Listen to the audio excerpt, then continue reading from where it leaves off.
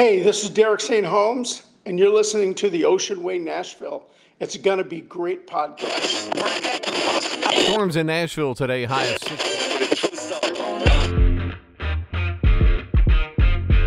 Today, on the first episode of the Ocean Way Nashville It's Gonna Be Great podcast, we are honored to have rock legend Mr. Derek St. Holmes.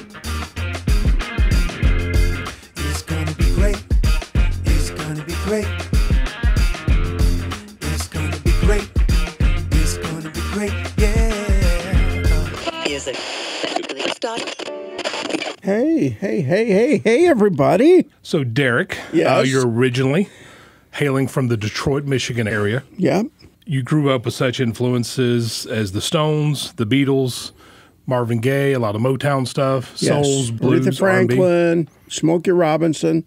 Growing up, you know, as a kid, you had to know all that stuff coming out of Detroit. Gotcha. Plus rock and roll. Plus you rock and know roll. it all. Yeah. And as far as your history as an artist, your most known, your most notable song is Stranglehold yes. by Ted Nugent. You also wrote songs like Hey Baby, Yes. Just What the Doctor Ordered, Yeah. Snakeskin Cowboys, Yep. Death by Misadventure, Yep. Live It Up, Dog Yeah. Eat Dog, and many others. Yes. Yep. Um, you were also a member of a band that I believe only did one record, St. Paradise. That's correct.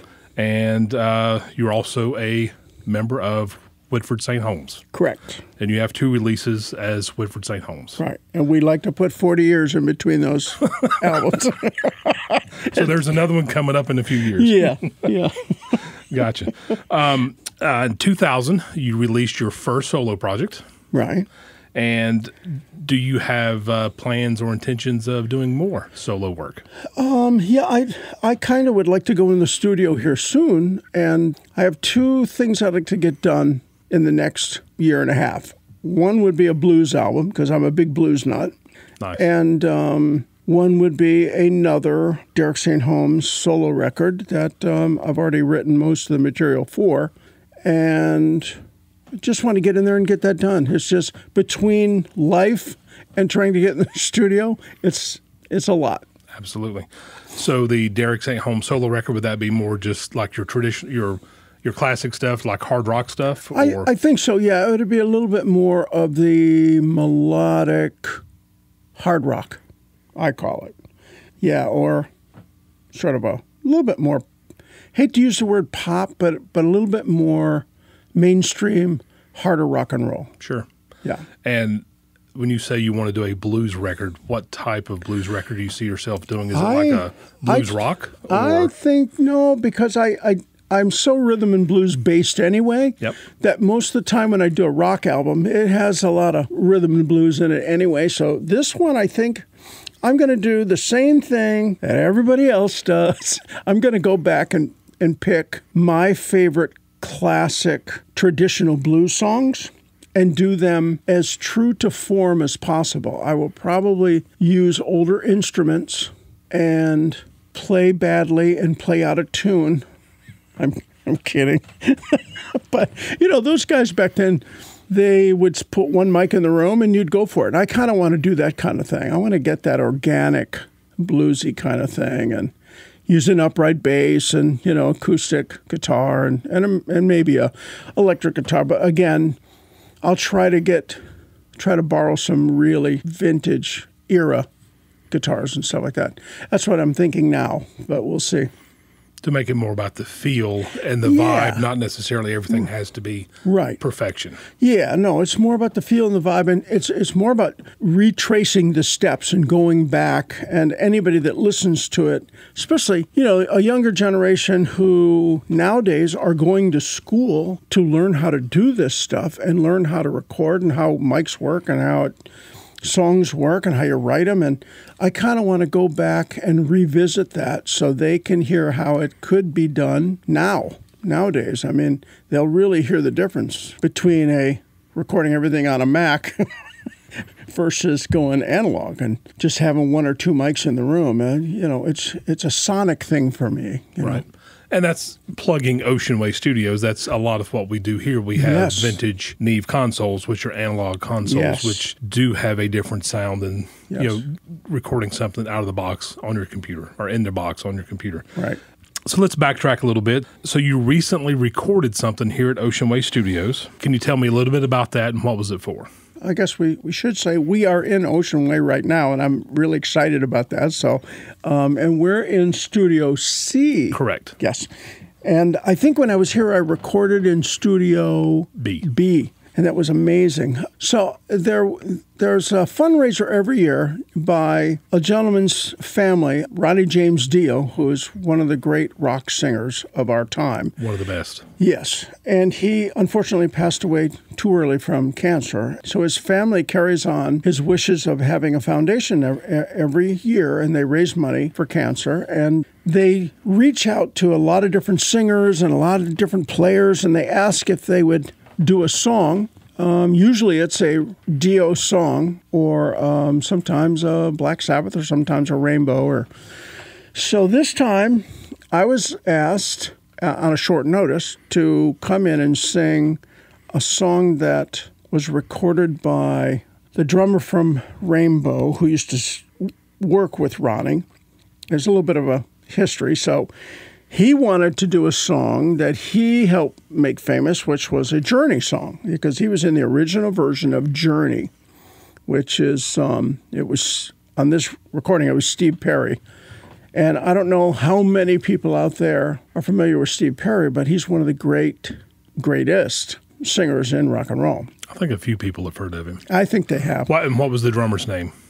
Aynsley Dunbar, Aynsley Dunbar. a nice English gentleman that um, I remember we took them on their first tour when, when he was in Rainbow, and we had a good time. It was a lot of fun, and you meet a lot of people when you do stuff like that. So, you know, they came back and asked me if I wanted to walk in and sing this song, and I've always had people come up and go, I think you have the same register as Steve Perry. And I go, well, I guess so, because I can sing what you know what he sings, and I know he can sing what I sing. So when we used to tour together, Steve would stand on the side of the stage and he'd see me sing, and I'd stand on the side of the stage and watch him sing, sort of like a mutual ad- admiration society, you know. But so it was fun. I had a chance to come in, and thank goodness I was able to come into Ocean Way, and with the tracks that we had, which were really sort of uh, not sketchy, but I mean, it was not planned as well as it should have been.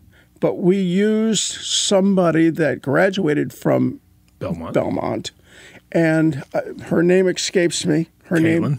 Caitlin, and she was absolutely fantastic, and she never got shook. She never got rattled, and she made it happen. And we knocked that thing out. And any anything that I and I've been recording for oh, over forty years. She's probably been recording for I don't know how long. You think four years? If not even that much. probably. But she knew all the lingo. She knew exactly what I was talking about. She knew exactly what I needed when I asked for it.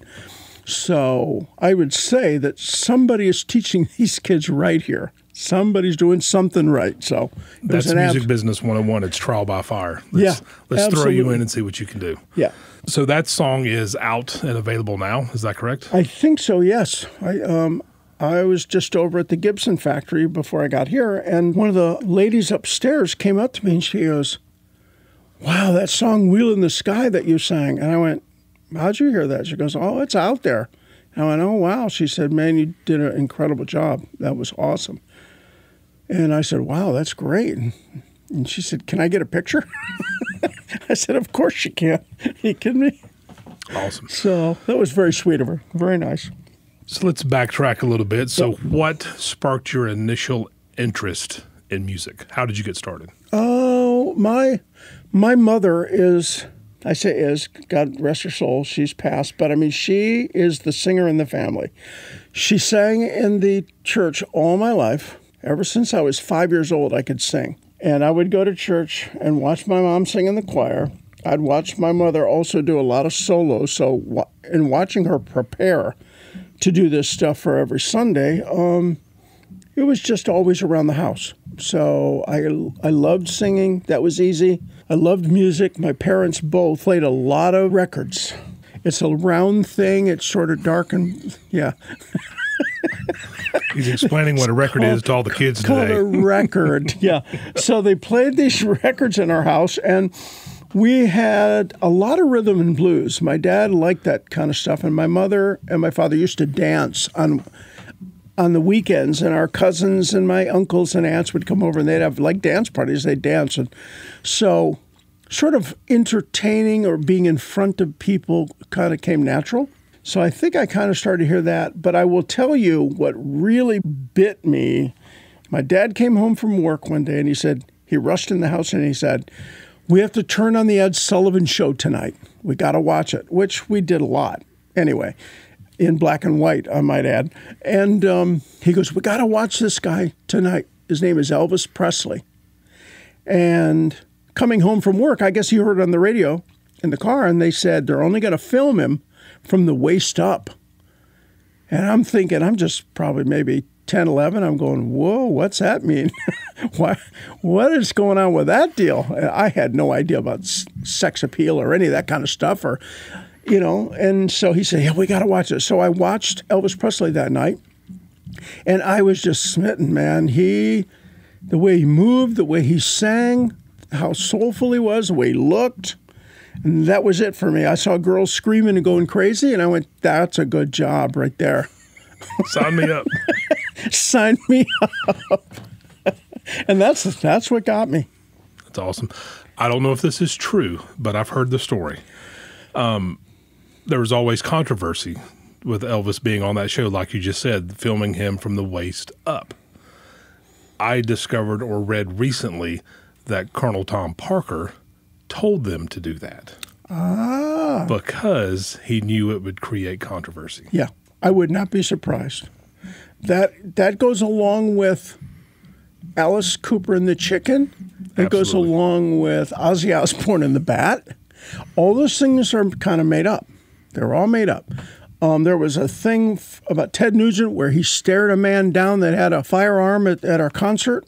That was all made up, and um, but it creates controversy and it makes you want to go see what it is.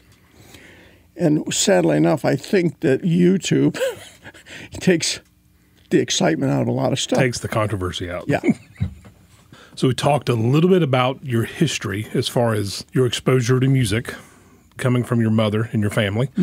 What was your path to get into the music business? So you saw Elvis on Ed Sullivan, you knew that's what you wanted to do. Right.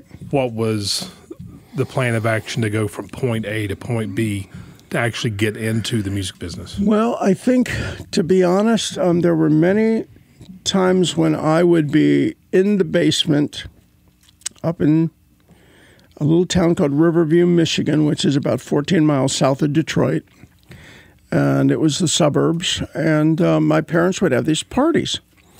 So I started to get good at pantomiming. I would put a tennis racket on. I'd make a mic out of out of a broomstick, I think, and I would stand there and I would fake it and and pretend like I was singing the Rolling Stones song or the or the Elvis song.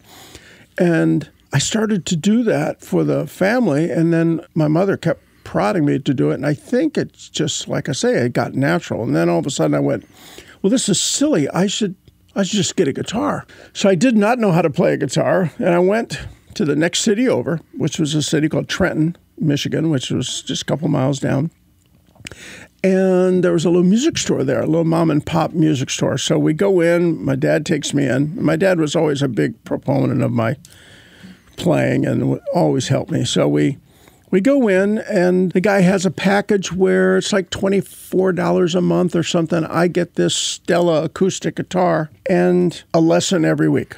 So we we kind of start that way, and we're playing first first week.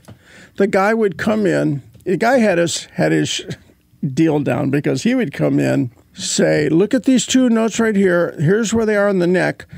Just start playing those back and forth." And work on that, and I'll be right back. And what he would do is set you off on a two note get down, and he'd leave the room. You could see he's outside smoking cigarettes and chatting up everybody out there. And I'm thinking, okay, is, am I it's not supposed to be, you know, hands on taught what we're doing? So finally, about four days of that, probably within about four weeks, I, I went to my dad and I said, Dad, I don't think I'm learning anything from this guy. Uh, he, this is what he's doing. And my dad goes, What? He's doing what? And I go, Yeah, he's not even in there.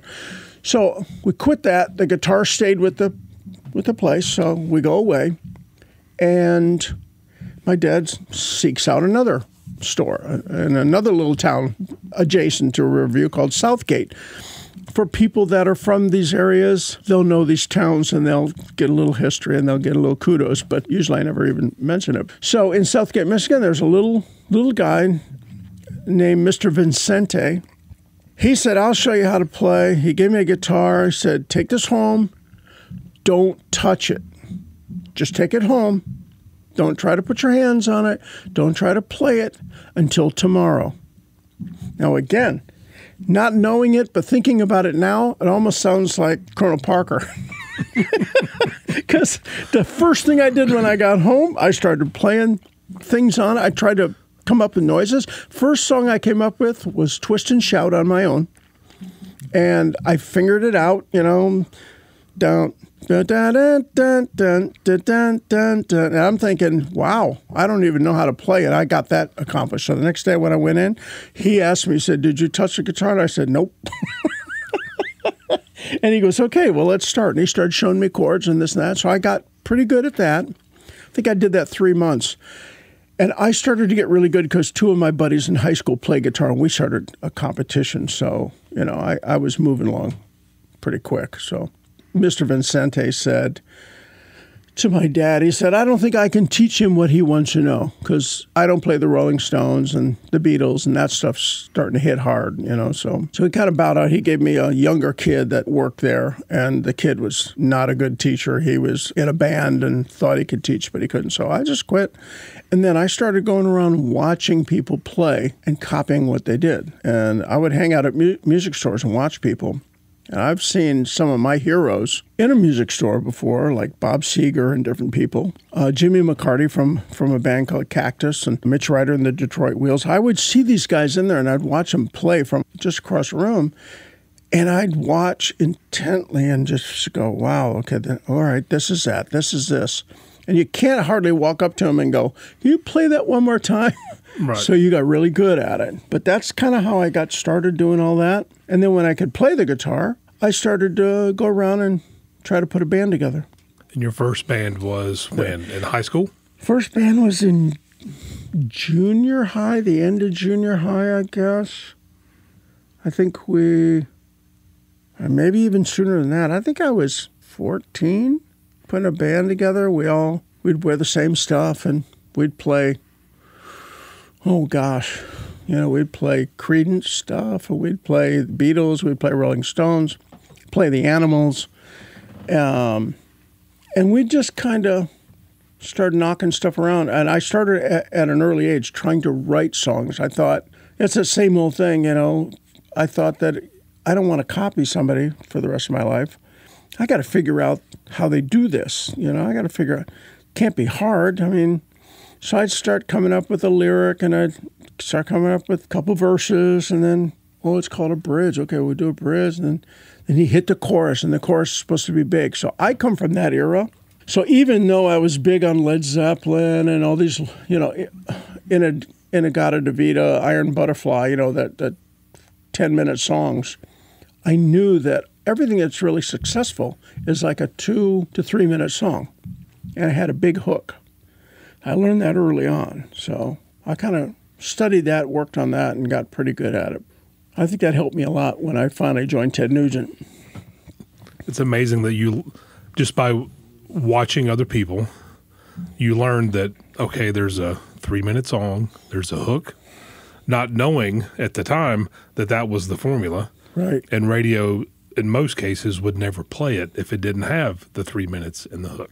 So you were actually learning practical application just by learning and watching other people, not knowing that they were doing it that way for a reason. Right. Interesting.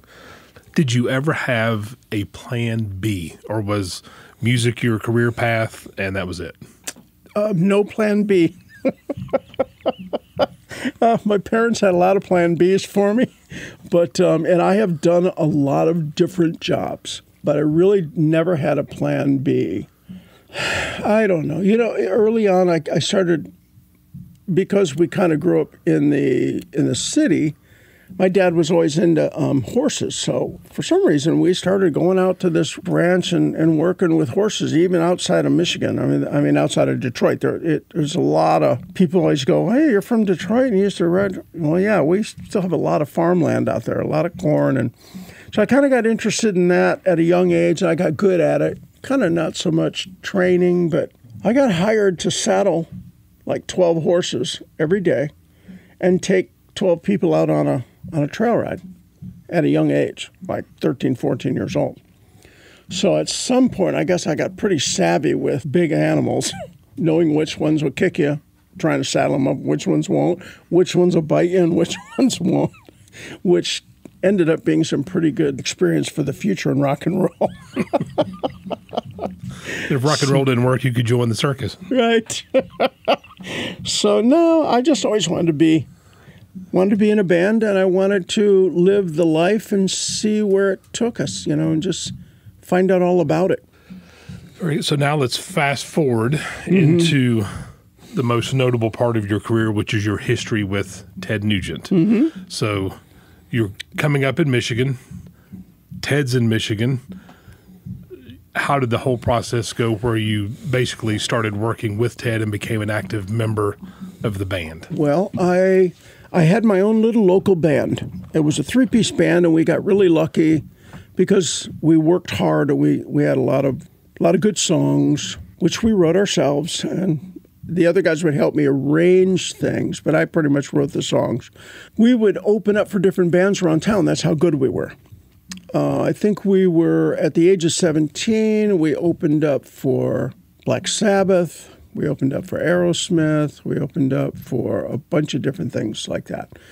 Well, in doing that, a tour ex tour manager of Ted Nugent's came around and he saw us playing and he he'd been all around the world with um, a band called the Amboy Dukes with Ted Nugent. And he, you know, he said, "Wow, these these three kids have something." And this one particular guy that plays guitar and sings has something.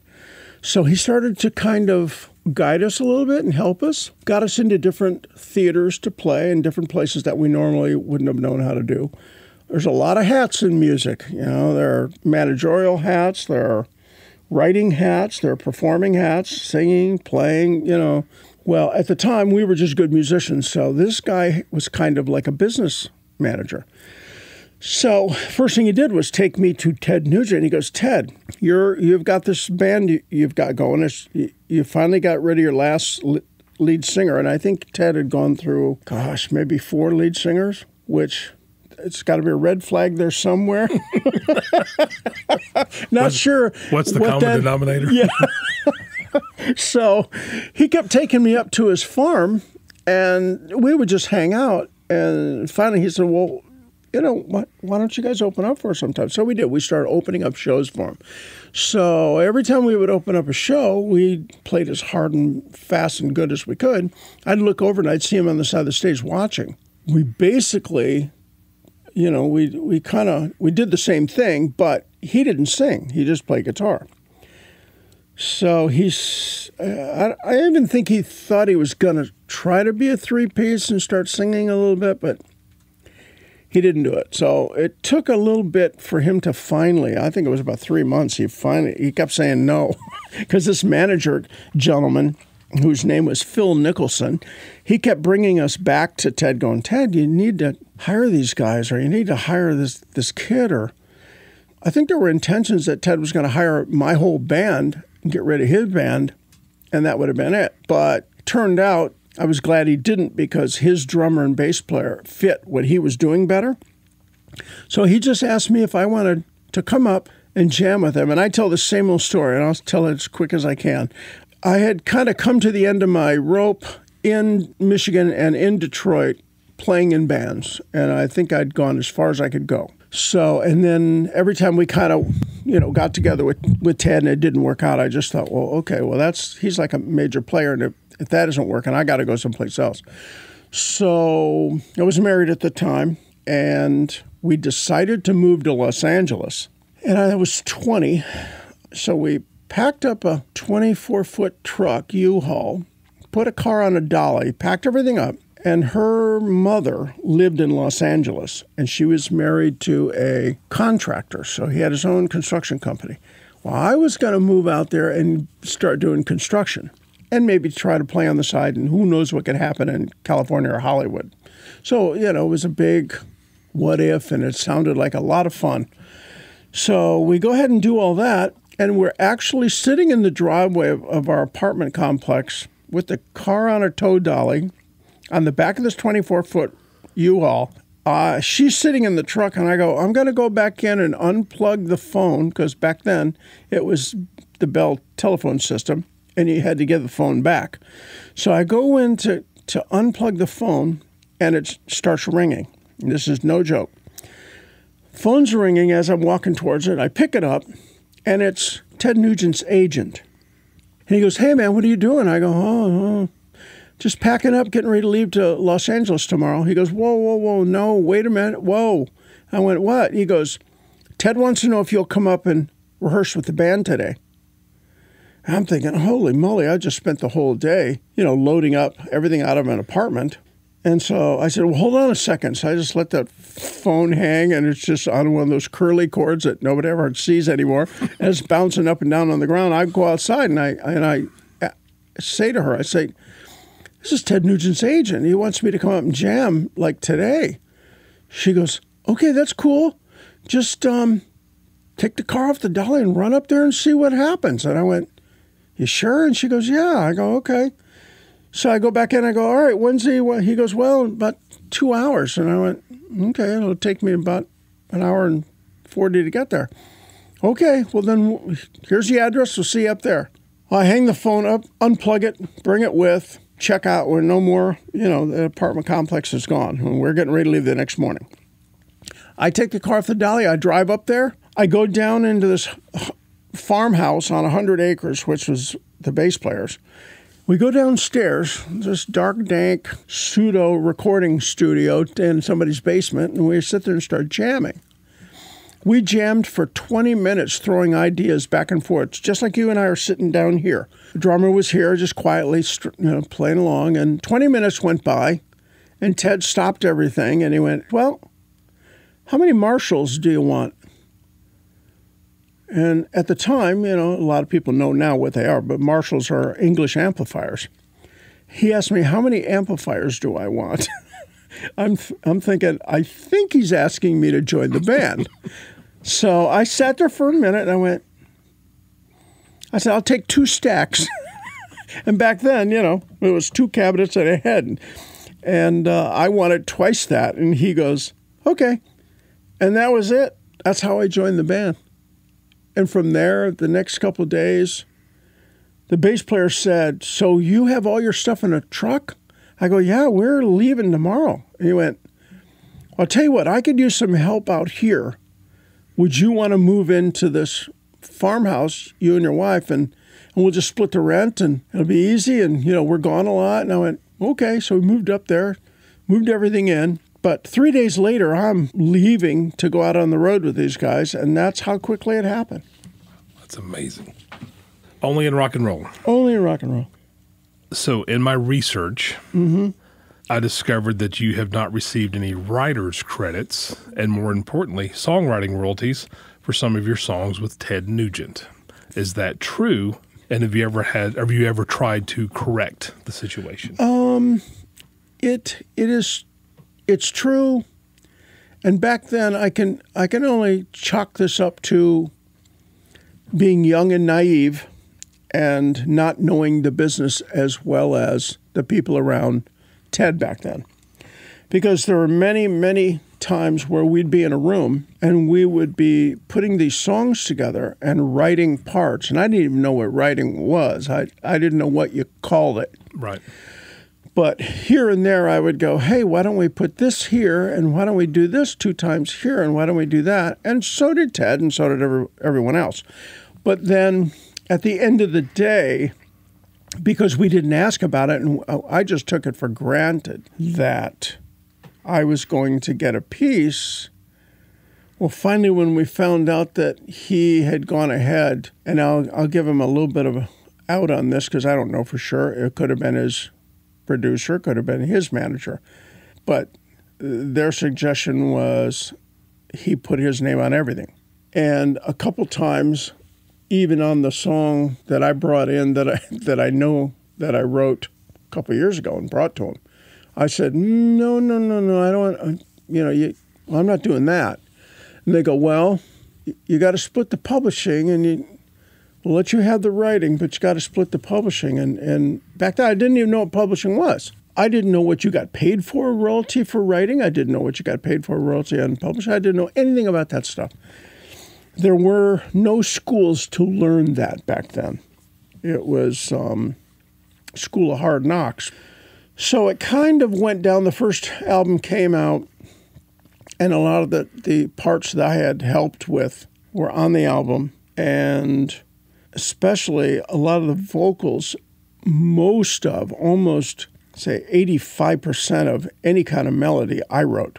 I was given a parameter and kind of an idea by somebody, but they, and that somebody was Ted. And could Ted sing the notes? No. If he could, he'd have done it.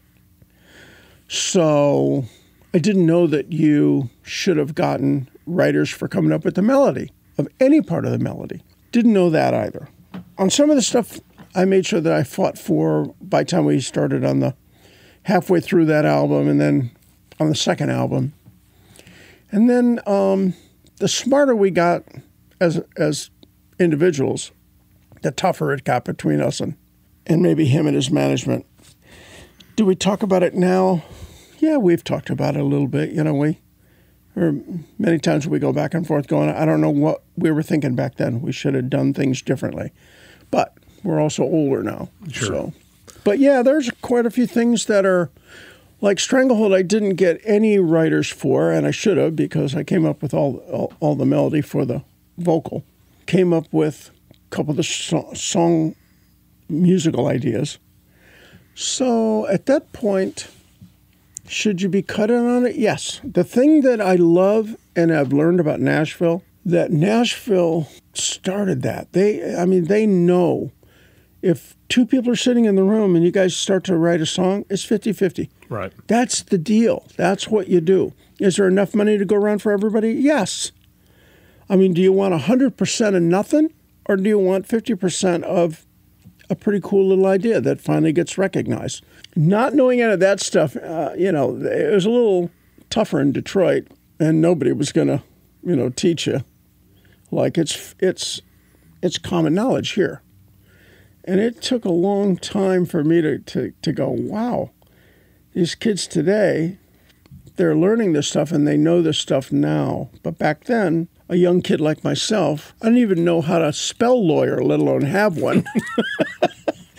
and didn't care. All I wanted to do was be a rock and roll musician. I don't even think the word star is part of it. I just wanted to be a rock and roll guy. So we didn't have that kind of um, guidance. But then as you start to watch, and when you do a lot of things and record a lot of things in New York, I started watching and talking and listening and people telling me things. And that's when we got smarter. It only caused more trouble when we got smarter. That's why on the second album, the Free for All album, there are some troubles. Now, anybody can sit here and tell their story of what happened, but there were quite a few knocking around of song ideas and production ideas with the producer at the time and with I don't think we had trouble with Ted. It was mainly the producer, but we finally got to one spot where I just thought it was all going down the tube on a couple songs, and I and I spoke up, and he didn't like it, and he said, "If you don't like it, you should just quit." Now this is a guy talking to me, not even Ted, and Ted's not even in the room. I finally thought, okay, you know what? I don't see anybody around here kind of sticking up for me but me. And I, I just thought, you know what? I said, fine. I said, I'm out. So I split. I went home. They started putting another person's vocal over mine, which happened to be this guy by the name of Meatloaf, who went on to be quite famous and a great singer, great great guy, great player. Um, so he came in and he sang all the songs, and he did a good job. Did it sound like me? No. Do I sound like him? No. Right. He finishes a lot of the songs and he goes, they take it to the Monday morning record company meetings. And this is just on the Free For All album, just a little history. People always go, How come you didn't sing on da da da da da? I said, Well, I did sing them all. But then when I was asked, asked to leave and I said, You know, I've had enough, then they brought another guy and just pulled my voice off and put his on. So when they took the the new album to Epic and sat around the big table and listened to it on the Monday morning, as they did all the artists, you know, they listened to everything that they were doing. A couple of people in the meeting said, "Wait, wait a minute, who's that guy singing?" And they went, "Oh, that's this new guy." And they they said, "New guy? Wait a minute, we just had this last album just went gold. Why are we changing that up?" and they didn't have a good answer. And so they said, no, no, no, no, no, we, we want the other guy. Sure enough, I'm sitting at home and they called me up and said, hey, okay, we'd like you to come back, but under these circumstances, and this has got to be this and that. And I said, well, I said, I'm cool with that. I'm not cool with that. I'm cool with this. I'm not cool with that. But if we can agree on all this, uh, that'll be fine. So yeah, I came back. They'd already finished that Free for All album, so it was going out. They pushed it out. But I was back for the Cat Scratch Fever album, which was the third one. So it's just crazy how a lot of it is it's trying to be an artist. Everybody wants to be an artist, but it's hard to be an artist and also share your idea of your artistry. And it's hard to let go sometimes. You do have to learn how to do it. It took me a little longer to figure that out. Not being clear on what the division of the partnership is and what you're getting for it. Sometimes I wouldn't bring my best stuff. I'd hold it back or I won't give my best idea. And that just hurt us, you know. So then by Cat Scratch Fever, I just made sure I cut a better deal. And then I, we started to throw a lot of ideas around. But, you know, sometimes you can be around people and you can play something for them, and all of a sudden they'll go away. There's no way to, to save it unless you record it right then and there. All of a sudden, they've come up with this new idea that they call it theirs. Sounds a lot like your idea. oh my gosh, it happens more than than you'd want to imagine, you know. So you have to be careful. You want to be a writer and you want to play music, but you got to be careful because it can be easily knocked off. One of my old bosses once told me that we're in the music business. And the music business was about 20% music and about 80% business. Yep. and he told me, and I was, this was in my 20s. And when he told me that, you're just like, okay, whatever. Yeah. And then fast forward the years that I've been in this business, you mm-hmm. start to see and hear stories and learn things, and you're like, you know what? That old guy was right. He was right. Yeah. Music is only a small part of it. The business is based on music, but it's only a small part of it. Yeah. It's And not that's can be a good or a bad thing. Yeah. I mean, the kids have such such a great advantage now. I mean, they never had a Belmont back when I was growing up. There was nobody. There, you didn't have Curb. Right. You didn't have somebody that cared. You know that that built an institution that you the kids can learn this kind of stuff. And who knew? Truly, who knew it was going to be a business? I mean, it was a little bit of a business in the 30s, 40s, and 50s, but then all of a sudden, you know, like 60s, in the 70s, it started to become big business. Big business. And that's when the business, that's when the lawyers and the managers all kind of swooped in like vultures. They're going, holy moly, now we can make, all we got to do is get, let's take these kids and take their songs, we'll make a bunch of money. And that's kind of, kind of what it might even still be a little bit today. But Sure. And I've never met Ted, but even in Ted's defense and hearing this, Yep. we don't know who was talking into his ear Right. that got a percentage of his revenue, not your revenue, Exactly. and said, Hey, Ted, if you structure it this way, this will be better for you. Right. When their intention was not necessarily taking care of Ted, but taking care of themselves. Right. And most of You it know, was like- unfortunately, yeah. that happens a lot. Yeah, yeah. And I, I, I believe a lot of that was true. He had been ripped off before himself, excuse me, and um, by a lot of New York business people, which are some of the toughest, and he learned his lesson. So it's not called the uh, Music and Friends, it's called the Music Business. There you go.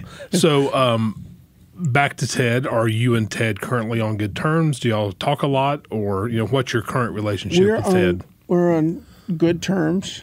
He's kind of like my older brother, way older. No, no, he's kind of like my older brother. I mean, you know, if if it wasn't for him, I probably wouldn't be sitting here. You know, if it wasn't for me, he probably wouldn't be sitting where he's sitting. So, are we buddies? Yes, we've been buddies a long time. Do we know each other really well? Yes. Do we get along better now? Absolutely. Do we respect each other more now? Absolutely. I had a chance to break away from the Ted Nugent band and, and be my own band leader, and I quickly learned a lot of hard things I had to do and choices I had to make, which he had to, had to do himself. And so I even called him once and I said, "Man, I got to apologize to you, man. I being the band leader's not easy." We talk about that stuff, and I think I went back. It was 2011 maybe or 2012. We kind of rekindled our playing together relationship, and we went back out and did some shows. And one night we got done with a week stretch, and, and he said, "There's nobody at my my place, and we're close, and we're flying back. Why don't you just just hang at the hotel? Why don't you just fly back with me, and we'll hang out at, at my place?" Which we used to do a lot in the early days. You know, we used to hang out all the time, he and I, and I always shared a room with him. So I learned all kinds of stuff on the road that you probably should do and shouldn't do. But so we went back to his place, full grown men sitting there on the couch, probably 2:30 in the morning, looking at each other and going, "What were we thinking back then? Why did we waste all that valuable time? And why didn't we just do what we do now?" Because we get along, we share things back and forth. But I think when you get older, it's easier for you not to want to be in charge of everything. The older you get, you just go, man, let this guy do his job. Let this guy do his job. Let me do this job.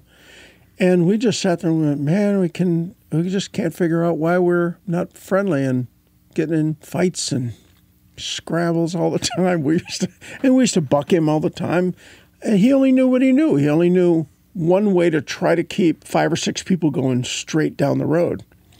With all of us trying to buck it and fight it, he did a he did a great job just trying to keep it all together. And we learned a lot of stuff. But are we on good terms? Absolutely. So you were featured in the documentary Hired Gun. Yes.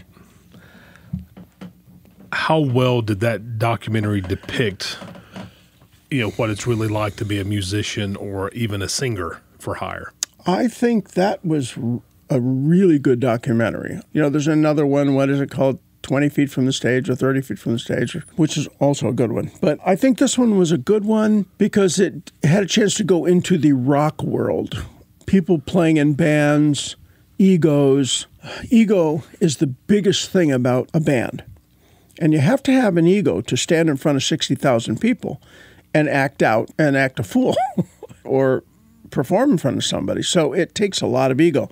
You get three or four egos in the same room that are big. I mean, it's pretty freaking dynamic. I think that documentary is a pretty good one. There's a lot of stuff that was left on the cutting room floor.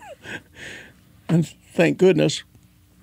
But I thought my part was mine was all true to form. I thought, you know, I told my story like I thought it was, and I know I have a good friend that was in that movie, Liberty DeVito, the drummer from Billy Joel, and I think he told his story pretty well. But it's just, a, it's a shame, you know. I mean, again, music business is twenty percent the music, and the rest is business. When you get in a band, if you think there's no way anybody can get get rid of me because what I do and what I did and what I recorded cannot be replaced. Well, yes, it can. And anybody that thinks it can't, you already see Adam Lambert subbing in for one of the greatest rock singers ever. Right. Yeah. There's a lot of growing up and learning being in a rock and roll band or any kind of band. I think that documentary depicted pretty well what can I, happen. th- I think it's a must see for anybody who wants to be in a band, yeah, I think so. Whether you're a musician or even a, even the lead singer or an artist. It's it's It it's can't education. hurt. It can't hurt to see that one. Yeah. Absolutely. Over the years, and you've kind of touched on this already, now that you're older and wiser, have Mm-hmm. you gotten more involved with the business side of your career? I mean, obviously you Yes. you're aware now of the pitfalls Yes. if you're not hands-on or involved or at least know what's going on. I mean, do you pay a lot more attention now to that side of the business? Yes. I would say for me now, I know how to wear three or four different hats. And I and I have no problem with doing it. A lot of people don't know how to sell themselves. A lot of people don't know how to stick up for themselves. I've gotten really good at it. You, know, you just have to figure out what it is that you want and what you're looking for and stick to the plan. If somebody wants you, you know, if you're reasonable and you're you learn how to be a pretty good negotiator, you pretty much can get what you want. I mean, I'm my own negotiator. I didn't used to be. Could I have done it back then? Yes, but I had other people around me that did it. It's a lot more fun for me now to be the negotiator and get the 80% of the business behind me and then go out and do the best 20% of the music I possibly can, which is very enjoyable at this age, which is 68. And I've been doing this a long time. Do I feel like I'm 68? No. Um, do I play like it? I don't think so, but I, I don't know. You'd have to be the judge. So, in in the current business model of Derek St. Holmes, do you have a team around you? Do you have an agent? Are you self managed? Do you have management, or Nope. what? What's your process? I right now I manage myself, and I get a lot of help from my wife, my partner. She is good in that department anyway, as she always was. So I get we we kind of do that ourselves for the part of the business that I'm in now. I don't really need a manager anymore. I think when you're young and starting out, you should definitely get some help or take some classes on management and know what you're getting yourself into. So in the current business model of what you're doing as an artist is is most of your revenue or what you're doing just touring or do you have plans on I mean you've mentioned two Yeah. other records you want to do but Yeah. is I- recording a big part of your career or future or is it just live events You Or know, for me, where do you see your balance for me, it's live. I, I, I mean, I make most of my money live, and thank goodness because I love that part. Writing songs to me is always come easy, so that's not a drudgery for me. And I also work better under pressure. I could probably write a whole album in one day if I had to, just being under pressure. But if I just sit around and you know go through the normal day of life, I'm kind of lazy. I can I can go. I'll do that tomorrow. Or I got this one part, and I'll put that together with that. But I mean, I do my best work when I'm when I'm under pressure. But that's recording. Do I make a lot of money off recording? No, you don't. I don't. I mean, I'm sure young guys now with all the streaming and they know how to do that. I don't. I don't know how to do all that streaming. Plus, I don't really. I don't want to work that much like the young guys do now. I mean, I don't have the gumption for it. I understand um, do I do well? Yes. Do I take a lot of? I do a lot of weekend fly dates, and I enjoy that. If I, I mean, if I do four fly dates a month, that's great for me. If I did six or eight, I'd start to think, "Mm, I don't want to work that hard. You know, I don't want to do that many. and some guys are just dying to be glad they had it. I spent a lot of time touring around the world. Had a lot of fun doing it. Been to many places, many times. Have a lot of friends all over the world. I don't feel like I want to do that now. Uh, not even if I had a big hit single, I still would not want to do that now. You know, it's funny. You hear guys like Eric Clapton, you know, uh, God bless him. If it wasn't for him, kids wouldn't even know what the blues are, you know. true And he's slowing he's slowing down. I'm watching him slow down. He's probably 10 years older than me. He just doesn't want to do it. He goes out and he does, you know, just a few concerts and a tour, spreads it out now. I was just I was offered to go out and open up for ZZ Top this year to do a couple shows. But in today's market, they don't pay anybody to do that anymore. Right now, you'll find 10 bands that'll pay you to let them play on your show. Now, that's all fine and well for guys that had never done it before, but I don't care about it that much anymore. So I told them that I would, for the kind of money that they were talking, I would have to bow out. I was so proud and thankful that they asked me. But maybe in another time when it works out better and it's a better string of dates together. So we're still kind of working on that, but but we'll see. I mean, would it be fun to open up for ZZ Top? Absolutely. We did a lot of playing together back in the 70s. It was ZZ Top, Ted Nugent, Ted Nugent, ZZ Top, and great people, great players.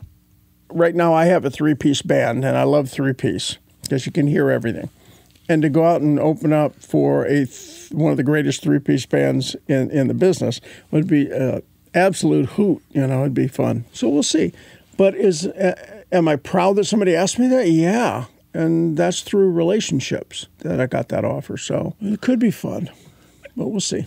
And for some of you who are listening who may not be completely familiar with Derek's work or even how big of an artist Ted was, Ted Nugent, back in the 70s, mm-hmm. something you even alluded to in the beginning of this interview, Journey used to open up for you. Yeah. And you've also toured with Van Halen. You just said ZZ Van Top. Halen used to open up. For Van us. Halen Yeah. used to open They up were for. Ted Nugent. Yeah. So the history and magnitude of Ted Nugent and how big his career was and what you were involved with during that era of the music business is probably unparalleled by a lot of artists because a lot of artists in the current state of the business may not ever even get as big as what Ted was or Journey was Right. or ZZ Top. So you have a, a reference and a history that's quite phenomenal. Yeah, uh, that's absolutely true. And and you know, it's it's a lot. It was a lot of work. And thank goodness we were young when we did it all. It was a lot of playing. We hardly were ever home, and there was a lot of touring. We brought up a lot of bands. There was a band called Boston. We took them out on their very first tour. There was a band called Foreigner. We took them out on their very first tour. And the reason we did is because there were probably five American bands back in that 70s era that were the biggest bands in America, and we were one of those five. Um, so it it's it's wild looking back at it all now. Sometimes you know people go, "Well, do, do you miss it?" And I go, "I don't. I don't really miss it because I did it." When some people ask me, "What was some of the greatest parts about it?" Well, have you got any idea what it feels like to stand on stage and hear 300,000 people clapping and cheering for you? That's like, that's the best drug in the world. I mean, it is phenomenal. I mean, does anybody know what it's like to sit in a 80,000 seat stadium and have people just cheer you on after your song? And uh, I mean, it's like, that's a high that, you know, you just never forget. Lynyrd Skynyrd, we all started off at the same time those guys just God bless them, they're still carrying it on too. I think it's wonderful. I They've think- also been here at Ocean Way. is that right? Yeah, yeah, yeah, yeah, yeah. Had to throw in a shameless plug. Absolutely. Um, so, at this part of your life and career, do you see yourself diversifying into other things outside of music, or do you have other interest? I do not. I think what I'm going to do is st- stick with the live portion of it and actually performing. I'm going to stick with writing songs and playing them live. I don't really care about the size of the audience. I just want to play. And when I was 15 years old, I just wanted to play. I just wanted to sing. I just liked the way it feels. And I wanted to, everybody says it, I guess, but I just wanted to make people happy. I wanted to make it be a party, make people move and make them, I love to make people move. I think one of the things about a good song, if you can come up with a song and you can play it for somebody, you can watch their reaction. If you make a move, you're probably in the right direction. I went in with a country artist last week, and I've never done that before, and that was just absolutely awesome. And the gentleman's name was Jim Brown, and he's just a just a sweet, sweet man. He's and he's got his own career of, of which I didn't know about, and I I googled and I went on YouTube and searched it all out, and I, and he's spent a lot of time.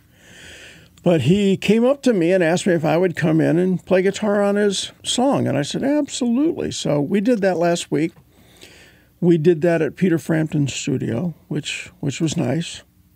I would have much rather have done it over here at Ocean Way, but you never know. Um, I had a shameless plug. I'd like to do my my next album here at Ocean Way, but we'll see how it all works out. But um, country is it's morphed into something different, and it would be fun to take some of my rock knowledge because it seems to be country start is being a little bit more grassroots rock too. I mean, it's almost like rock country. I'm hearing a lot of people emulate what we did already. So, would it be fun to go and be in some of these sessions and maybe help some of these players out and some of these musicians? Absolutely. I think that would be going forward in my career. I think that'd be a lot of fun. So, who knows? We'll, we'll see where it carries us. I have a couple more questions, Mm-hmm. uh, just real quick. Um, what advice have you been given that stuck with you the most throughout your career? I think for me, it was keep your nose clean, be good at what you do, make as many friends as you can, try not to hurt anybody. And is there advice that you would want to pass on to the future generation, the up and coming artist? I would say be true to your craft, be true to yourself. Don't let anybody get too deep into your way of, of how you want to write your songs and deliver them. Um, because that's the beauty of music is when it is true and comes out of somebody and don't let everybody get their hands on it and, and turn it around. I mean, so just got to be true to yourself and true to your your material that you write and, and your ideas and stick to your guns, you know. Those are the guys that go forward. Everybody else that kind of starts, you know, if you waffle and go, well, I didn't, I don't know if this is going to sound okay.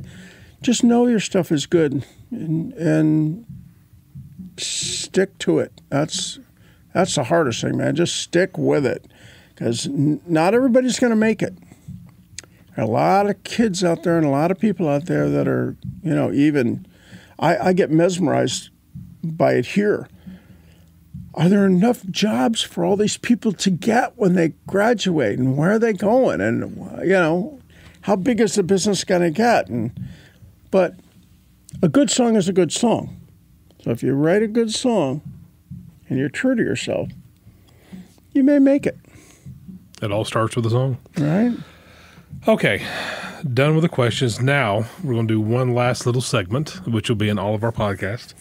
This is the It's Gonna Be Great podcast, Right. Which is our slogan right or theme here at Ocean Way. right So I've got just a couple of really quick points based on the theme of It's Gonna Be Great. What was the, and this is a question that I like to ask pretty much any artist or musician that I come in contact with because it's fascinating for me personally.